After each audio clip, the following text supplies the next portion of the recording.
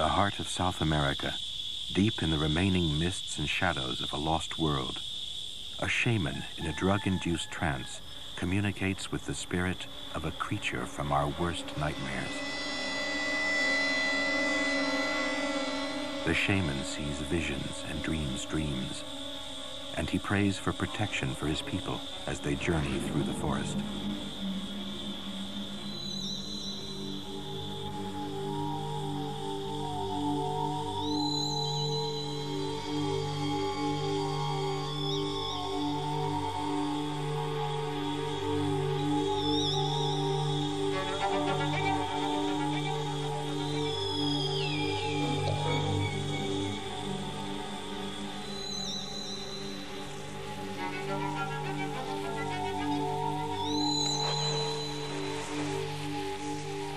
Jungle around him teems with potentially deadly animals. But the Piaroa Indians revere one above all others. It's the largest and one of the most venomous spiders in the world, the giant tarantula.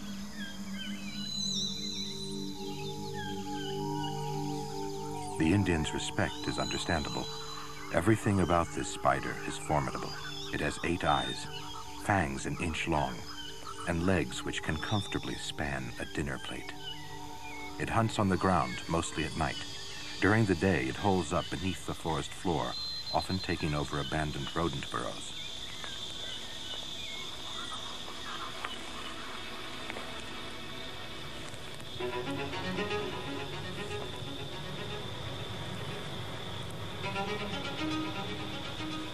The giant tarantula isn't the only fearsome creature to inhabit these parts. Of the most deadly snakes in South America. Its poison causes paralysis, swiftly followed by the breakdown of the living tissue. Its immobilized victims suffer an agonizing death, slowly dissolving from the inside out. The local remedy for the snake's bite is to amputate the affected limb immediately. Although the fer-de-lance will attack humans in self-defense, it usually preys on rodents, occasionally cornering them underground.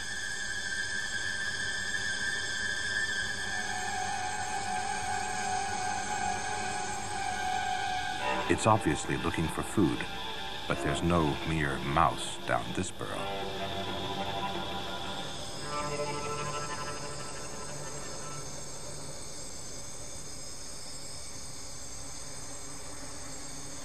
The giant tarantula has the largest venom glands of any spider. There are no authenticated reports of anyone being bitten by one. Perhaps no one has lived to tell the tale, so no one knows just how poisonous it is. Even so, the odds of winning a fight with a fer-de-lance seem stacked against the spider.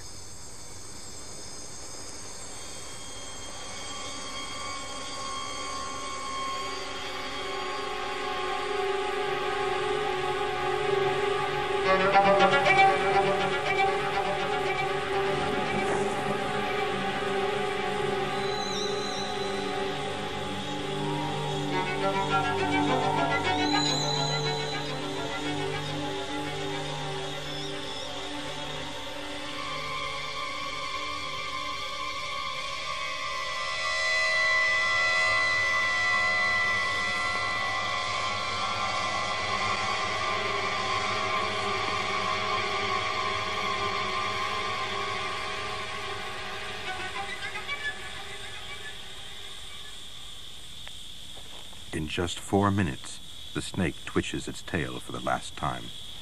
Giant tarantulas produce copious amounts of venom, curiously similar in effect to that of the snake.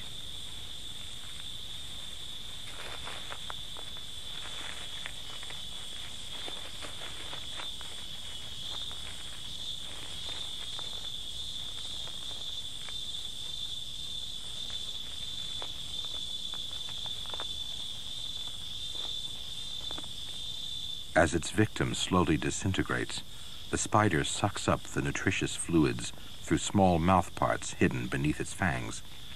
Even the snake's backbone, already stripped of flesh, will eventually be partially digested and devoured.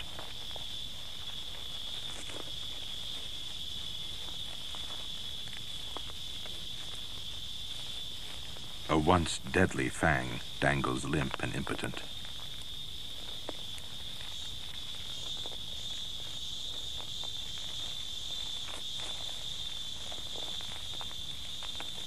After 17 hours, all that remains of a formerly lethal snake is its shriveled skin. With a creature like this lurking unseen in the forest, it's not surprising the Piaroa Indians seek spiritual guidance.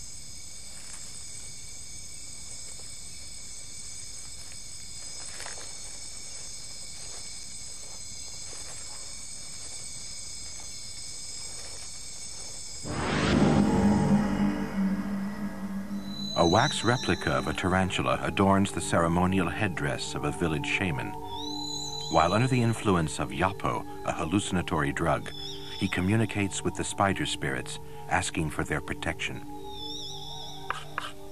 The drug is made by grinding the seeds of a local tree. The active chemicals are absorbed through the nose. Soon, the shaman will see visions.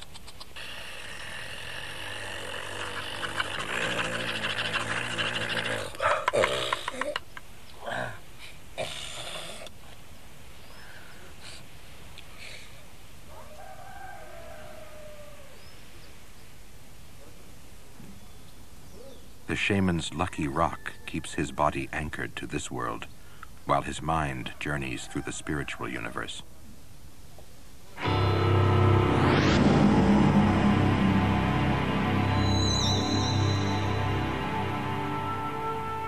The Piaroa live in the central region of Venezuela.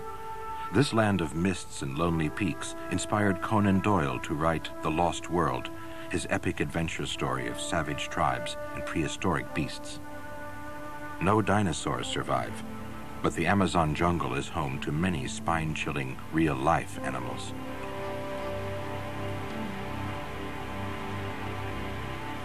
They're creatures the Piaroa could encounter any day of their lives.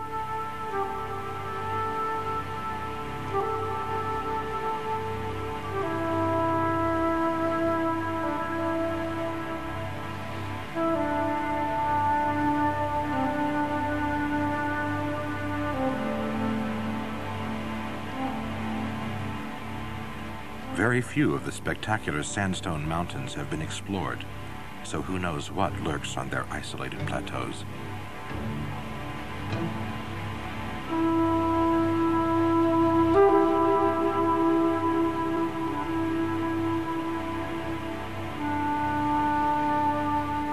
The largest in the region rises over 3,000 feet. It is sacred to the Piaroa, and it features in many of their legends. They call it Bahari Kuwai.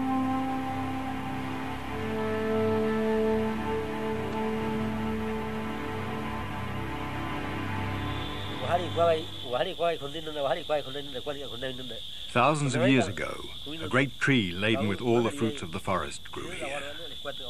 The god sent a boy to cut down the tree so that it would provide food for all men and beasts living in its shadow.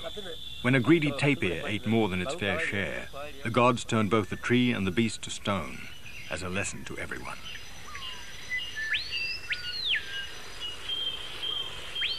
The Piaroa heed the messages from the gods. They believe that if they take only what they need, Wahari Kuai will not only provide for another day, but also keep them safe.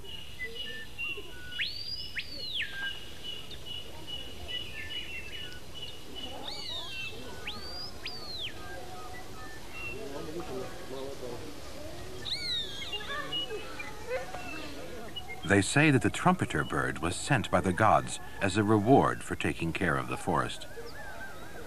These chicken-sized birds have taken to living round Indian settlements. In return for a few scraps, they help to rid the village of pests, especially snakes, even the fer-de-lance.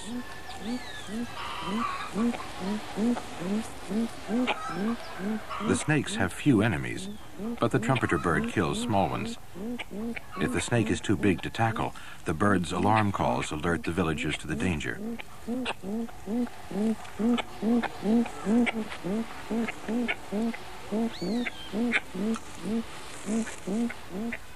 The snake's cryptic coloring confused the bird, and camouflage probably saved the spider.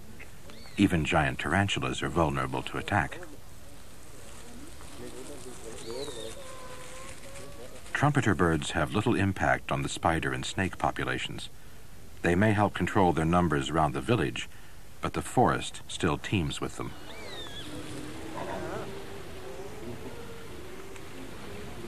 Before the men go hunting, they ask the shaman to pray for their protection from the many dangerous wild beasts living out in the forest.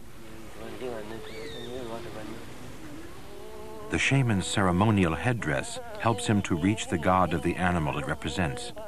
The drugs have not yet worn off. He is still able to communicate with the spirits. The Piaroa hunt with blowpipes and poison darts. The forest supplies all the materials they need to make their weapons.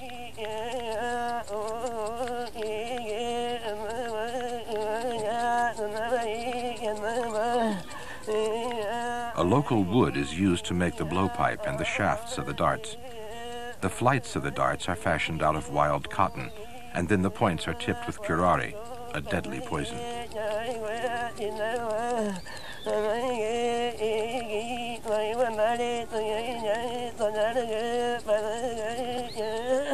Curare is made from the bark of a local vine. Once the sap has been extracted, it's gently warmed until it's thick and sticky.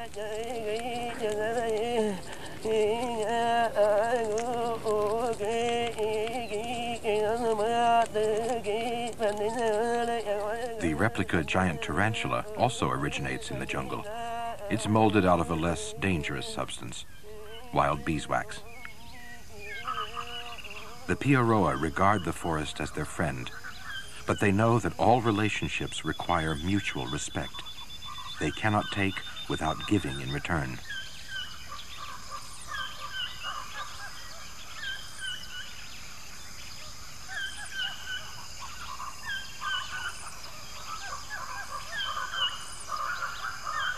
The men may be away for three days, but they take only their weapons. The forest will provide for all their other needs. Although they are well armed, the hunters value the shaman's company to pacify the forest gods and bring them good fortune. Out of his trance, he's a skilled hunter too.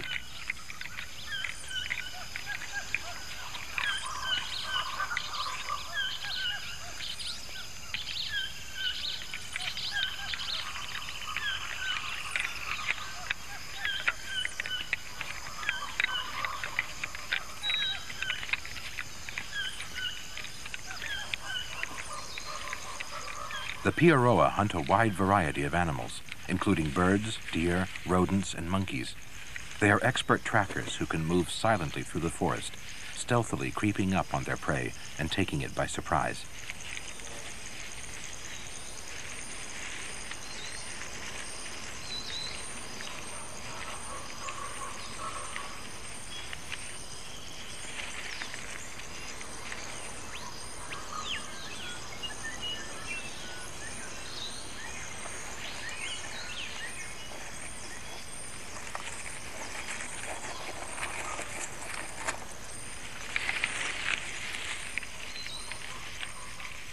The animals, they regard one, a very dangerous one, as a particular delicacy. But at first they hunt less risky prey to supply the communal cooking pots.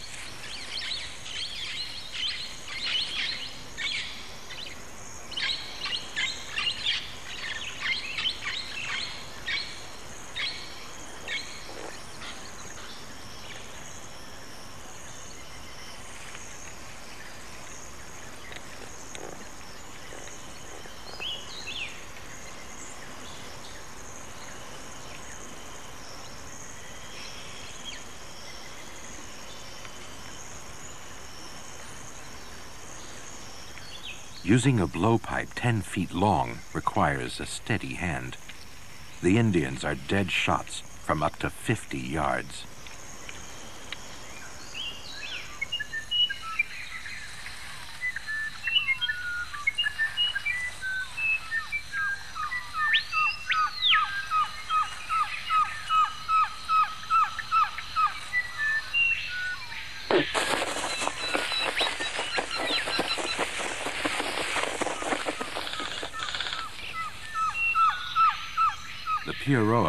Masterly climbers.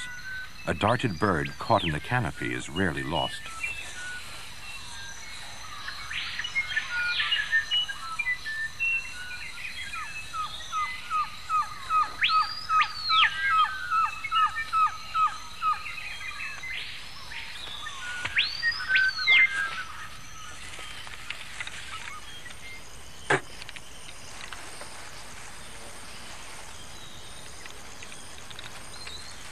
Curare is so potent that it kills almost instantly, causing a massive heart attack. The poison breaks down when it is boiled, so the birds can safely be eaten after cooking. The hunters waste very little, extracting the undamaged arrows. Hunting requires courage as well as skill. Venomous animals lurk unseen throughout the forest, and every year some Indians die from bites and stings. But no one has ever been killed by a giant tarantula, yet. The Piaroa believe their faith keeps them safe, and that the spirits have shown the spiders how to stay out of their way. Each spider spins several strands of silk, radiating out from the entrance of its burrow, specifically to detect the approach of both enemies and prey.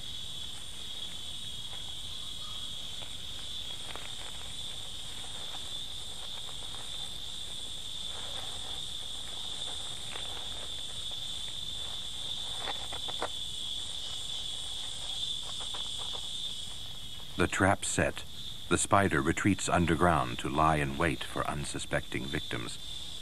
But even venomous spiders have their enemies. Like many creatures in this lost world, the tarantula hawk wasp has grown to giant proportions. It's evolved into a winged demon the size of a human palm. The wasp hunts giant tarantulas, not to eat, but as a host for its eggs. First, it must lure the spider out of its lair. It walks over the invisible silk fan on the spider's doorstep, pulling as many strings as possible, deliberately setting off the trap. It then attempts to sting and paralyze the spider, attacking its soft underbelly. If the spider is immobilized, the wasp will lay her eggs in her victim and entomb it in its own burrow.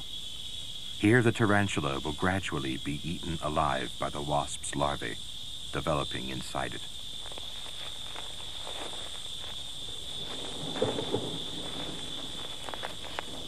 The wasp badly misjudges its attack, allowing the spider to strike first. It retreats, mortally wounded.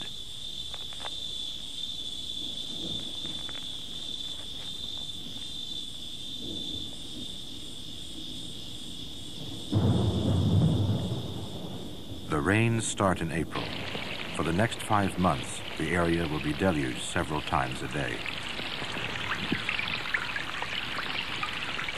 Once dry creeks turn into torrents. When they burst their banks, they flood the forest.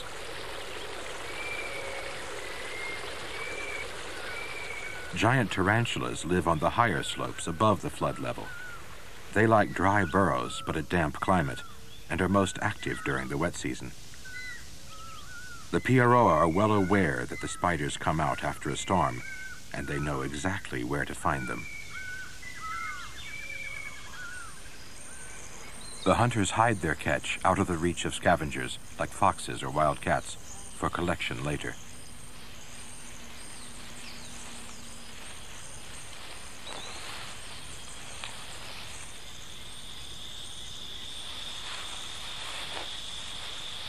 The chances of stepping on a spider are higher during the rainy season than at any other time of year. Since the spiders emerge mainly after dark, the hunters set up camp just before nightfall.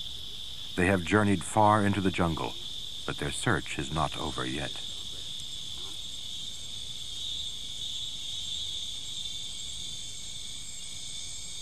Giant tarantulas may live above the flood levels, but several of their tree-living relatives live in the flooded forest. They often hide under orchids.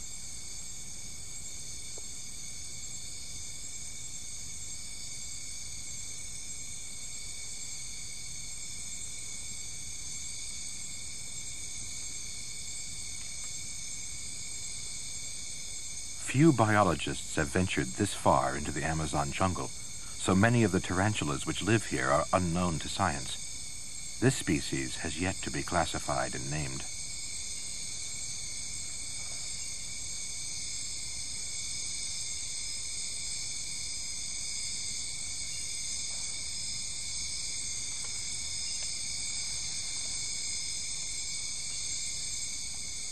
The orchid's tangled root system provides a bird-eating spider with an ideal daytime retreat.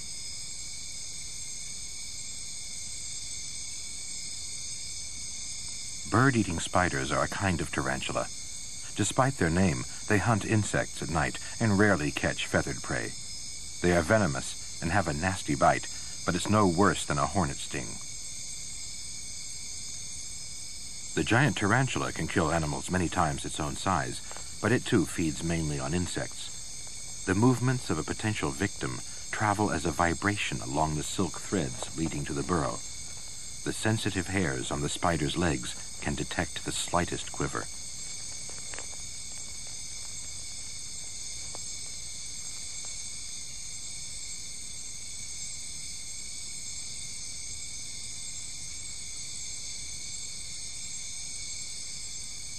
Tarantulas sometimes go on the prowl, but generally they wait near their burrow entrance for potential victims to come within pouncing distance.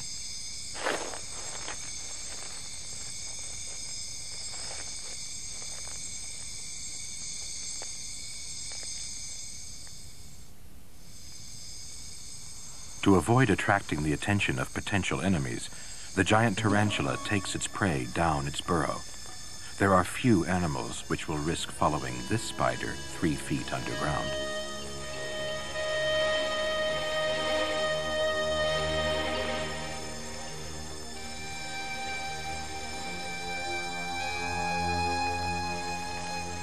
It covers the floor of its lair with a silk mat.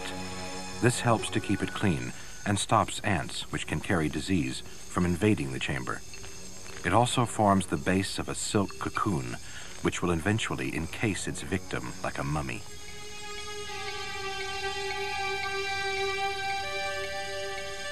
The spider spins several strands at the same time, which it drapes over the locust, attaching the loose ends to the floor.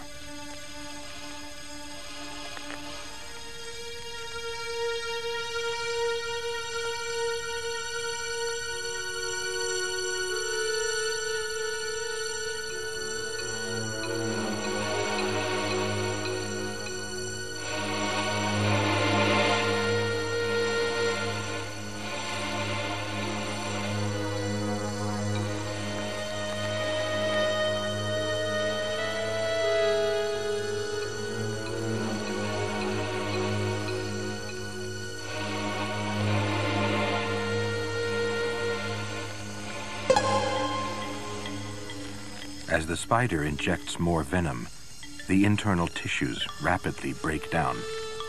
The tight silk shroud stops the insect's body from falling apart as it is sucked dry.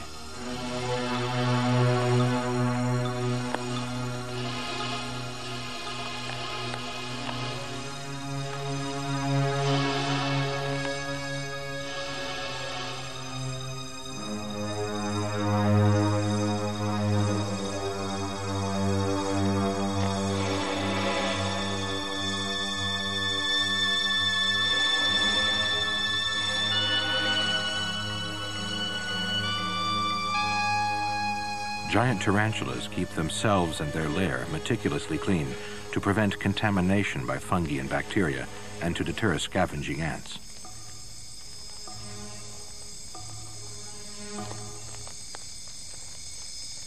The shriveled pellet, the remains of the locust, will be removed before daybreak.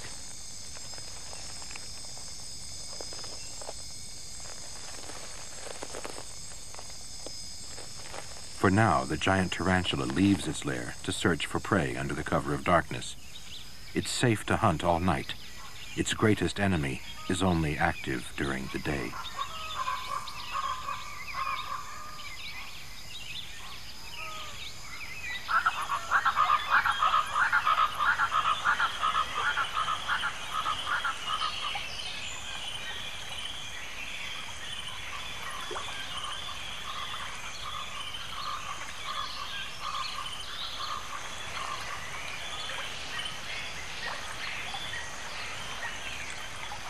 The Amazon jungle is home to the world's biggest snake, as well as the largest venomous spider.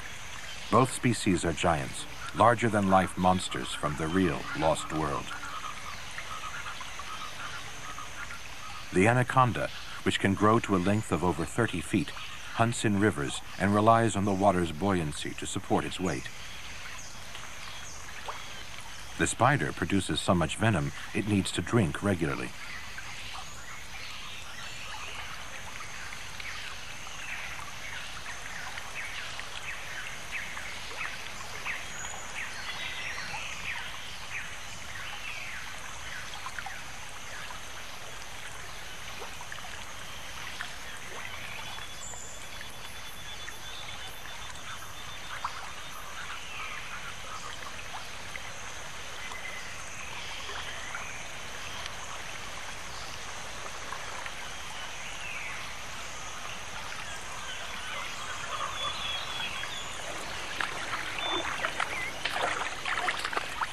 Piaroa fear the anaconda as much as the giant tarantula.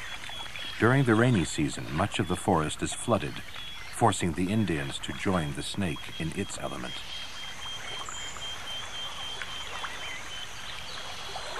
The men watch their step. The anaconda will not attack unless provoked.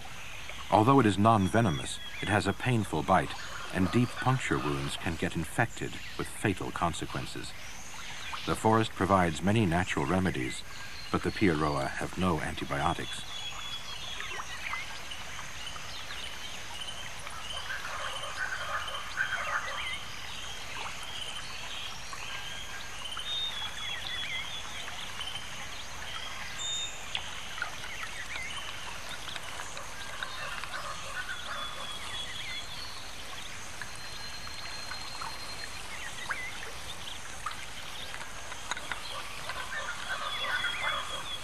The anaconda is a fitting denizen of this lost world, the Hoatzin another. Like a relic from the past, it shares a primitive feature with prehistoric birds. Young Hoatzins first leave their nest at about a week old, long before they can fly. Most chicks would crash to the ground and fall victim to predators, but the Hoatzin hatches with rudimentary claws on its wings. The chicks use the claws to clamber about the branches.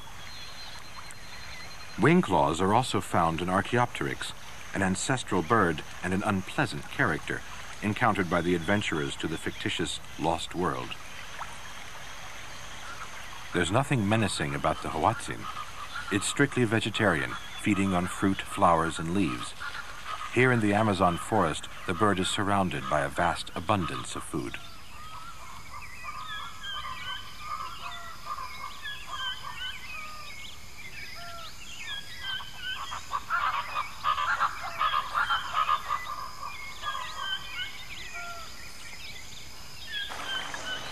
Hoatzin is superbly adapted to life in the flooded forest.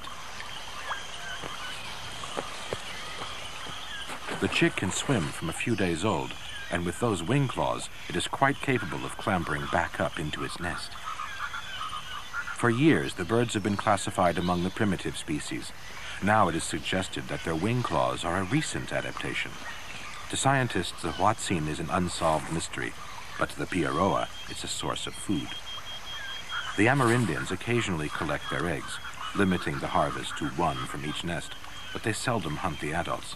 They call them stink birds because they smell musty. Instead, they concentrate their main efforts on more palatable prey.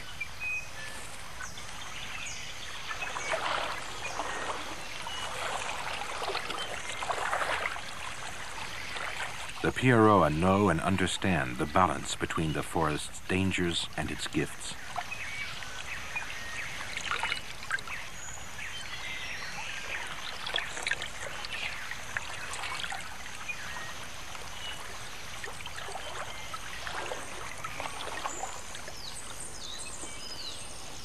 They hunt coatis, but this South American relative of the raccoon has sharp senses and is difficult to catch.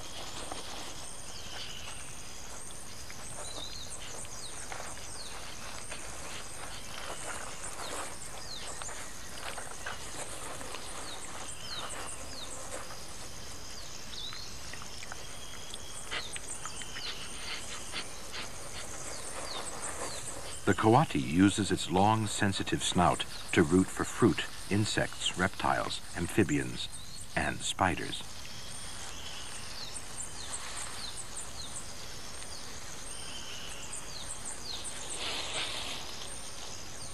This animal is a youngster and has never encountered a giant tarantula before. It's in for an unpleasant surprise. The spider rears up to look as intimidating as possible. If this doesn't work, it will bring spines on its rear legs and specialized hairs on its abdomen into action. A remarkable defense mechanism which stops most enemies in their tracks.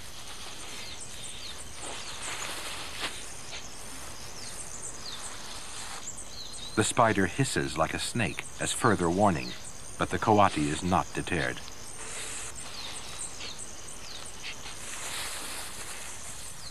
Each tarantula has over a million abdominal hairs, which are tipped with barbs. A single stroke with a back leg releases thousands of hairs into the air. When inhaled, they cause a fierce, burning sensation. The pain will ease after several hours, but it's a lesson learned. This young coati will grow up with a healthy fear of giant tarantulas. It will probably never attack one again.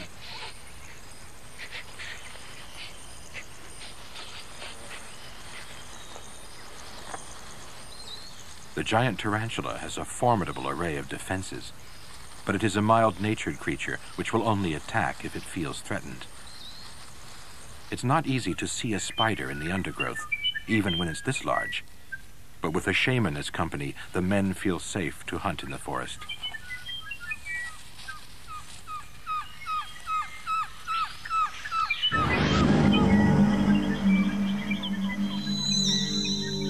They must watch their step.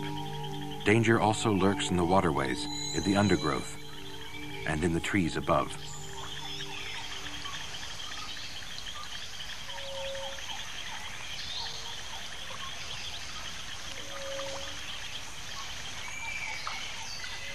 This bird-eating spider poses no great threat, except to an insect.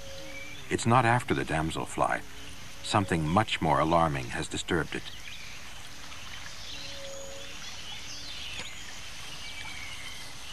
Venomous snakes are a real danger. An emerald tree boa is harmless. It doesn't eat tarantulas, but the spider is not prepared to take any risks.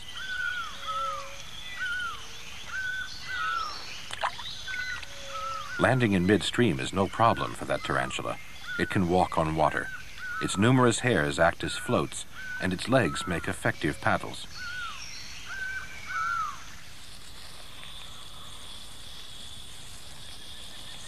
The Piaroa avoid all the spiders around them, except for the most dangerous one. It may seem foolhardy, but they actually regard the giant tarantula as one of the greatest gifts the forest provides.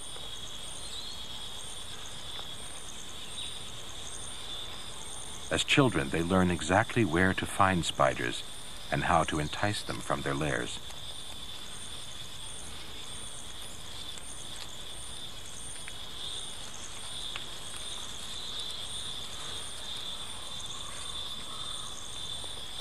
They know that tarantulas respond to vibrations, and they are experts at imitating the jerky movements of a struggling insect with a piece of vine.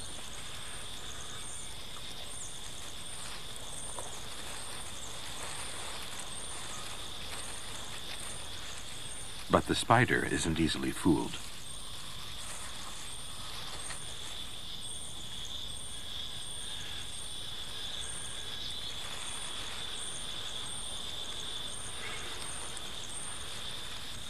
If it feels threatened, it'll respond with a shower of hairs.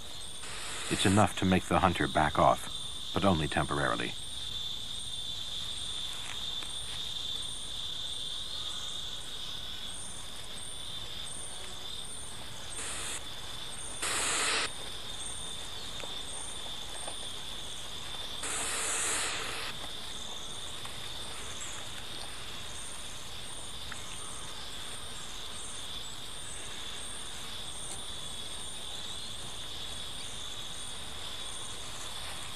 Has lured the spider some distance from its burrow, the hunter pins it to the ground with two fingers and then cautiously gathers up all eight legs.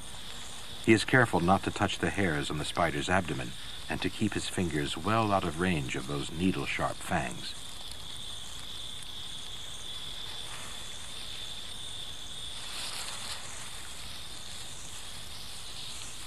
Giant tarantulas are carried live in a string of neat little parcels. A leaf serves as wrapping paper and a vine stem as string. Before he ties up the spider, he gently blows away any loose, irritating hairs.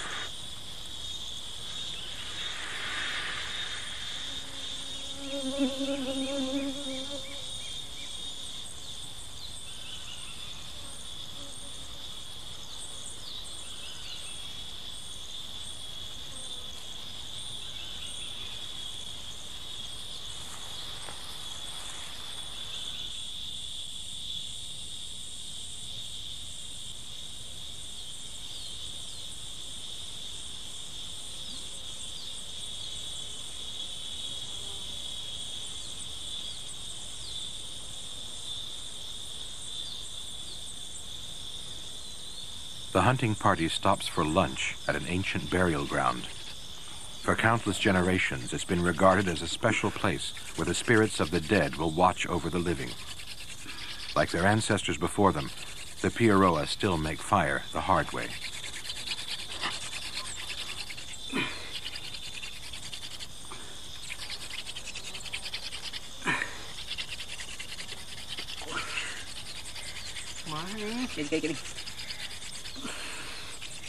The rock art is believed to be over 3,000 years old.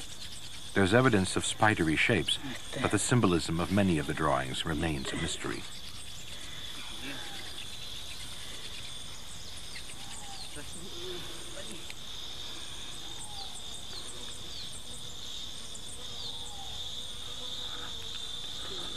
It takes about five minutes of strenuous labor to generate the first glow of fire.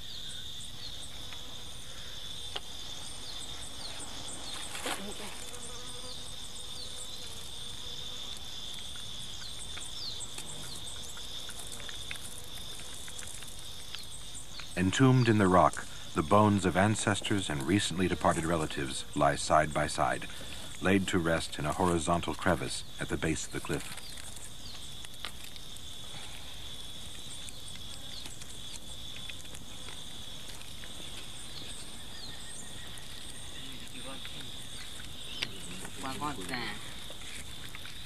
The spirits have been kind and the hunting good the men prepare to feast on a favorite food spiders. They regard them as a delicacy, but take no more than they need. A couple of tarantulas each will sustain them until they return to the village.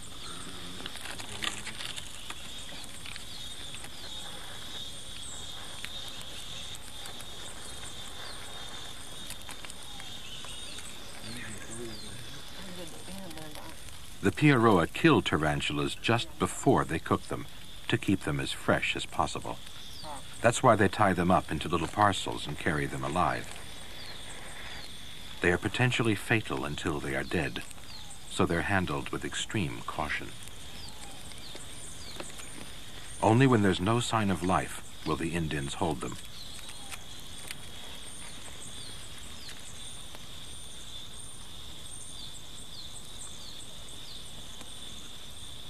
And even then, they won't touch the abdomen.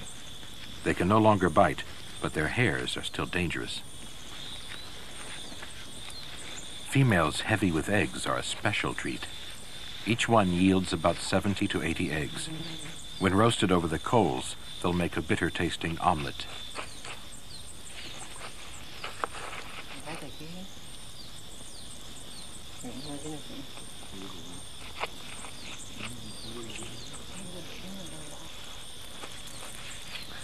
omelet.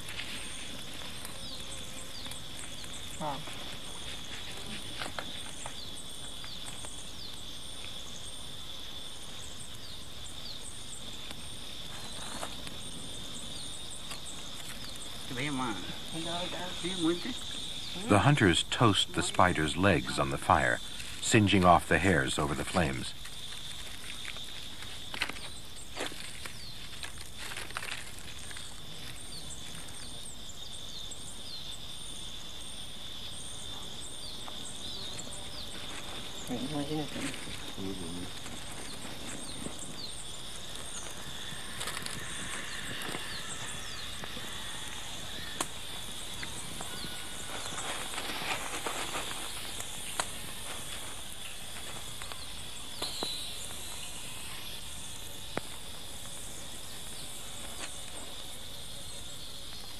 Patting gets rid of any remaining charred hairs. They regard the thorax and legs as the best bits. Apparently they taste like shrimp. To the Piaroa, spiders' eggs and meat are the equivalent of caviar and shellfish to us.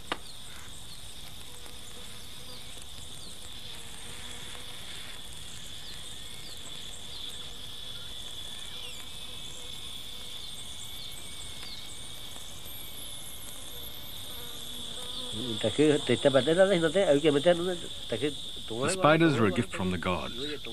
When we fail to catch other food, we can usually find spiders.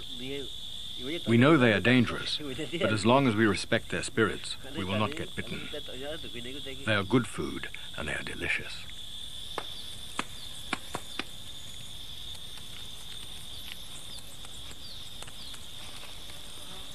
At the end of the meal, all that's left are the fangs, and even they aren't wasted. They must be the world's strangest toothpick.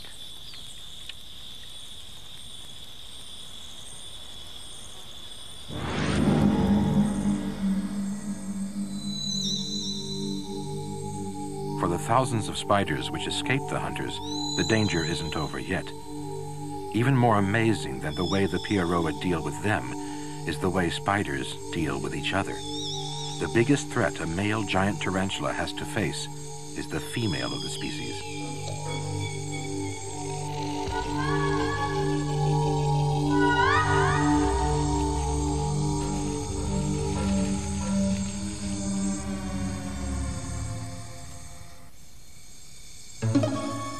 His main purpose in life is to find receptive females and fertilize them. He can detect a female in her burrow with special hairs on his legs, which are sensitive both to chemical signals and to vibrations. The male approaches the female's burrow with extreme caution. Tarantulas are not immune to their own poison, and a wrong move at any time in the courtship could prove fatal.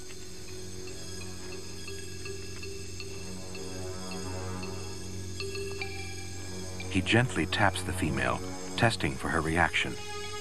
The trick seems to be to stroke her into a trance. Next, he will gently lift her up in order to reach the sexual organs on the underside of her body.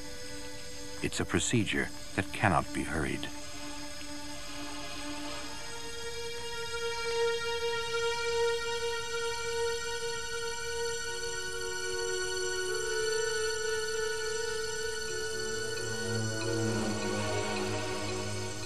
He is in an extremely vulnerable position. This one made a move too soon and was lucky to survive his mistake.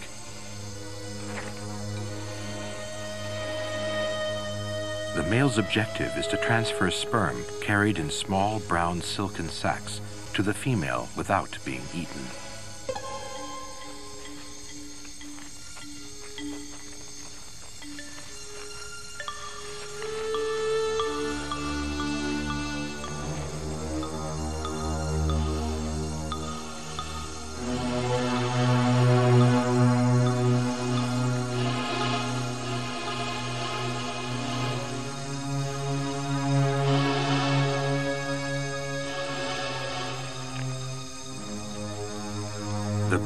To mating can take up to two hours, but if the female isn't in the right mood, she may kill and eat her suitor.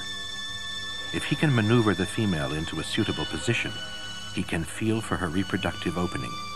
Then he releases his sperm, first from one palp, then the other.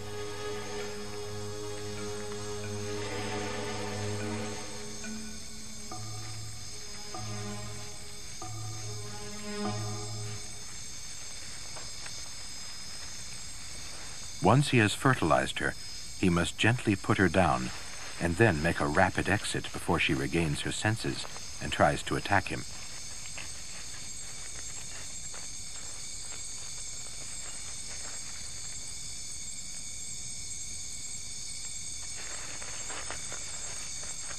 Males reach sexual maturity at about three years old and die soon afterwards, but females can live for 20 years.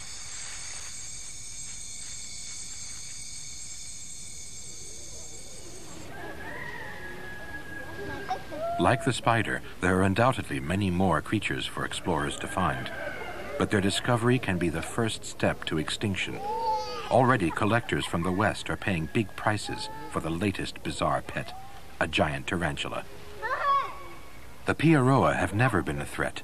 They limit their harvest, making sure they do not harm the spider population.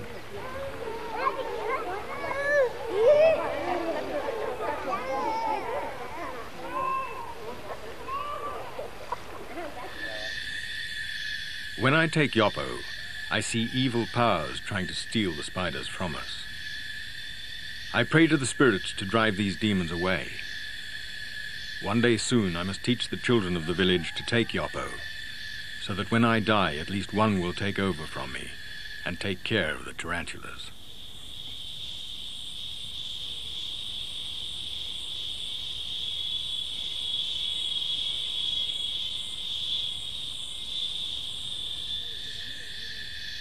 I speak to the spirits of the spider and ask them to make the tarantulas fertile, so that they will multiply and provide food for us.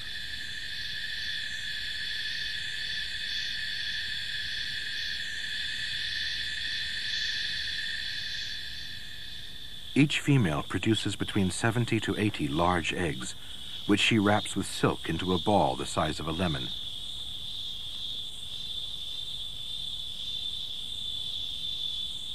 About 80 days after they were laid, the spiderlings hatch inside the egg case. It will take them another 24 hours or so to dissolve the silk in order to break out of their cocoon.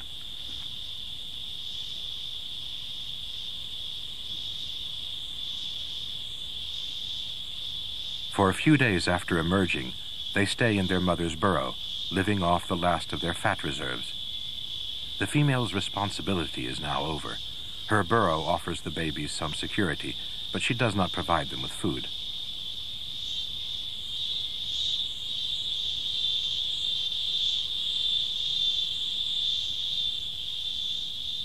Hunger will eventually force them to take their first steps into the forest alone.